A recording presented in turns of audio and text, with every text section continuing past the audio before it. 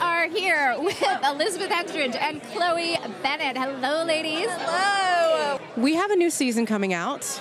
There are lots of things happening. Brand new trailer has dropped, coming out soon. And we got lots of sneak peeks into what's next for both Dr. Jemma Simmons and for Agent Daisy Johnson.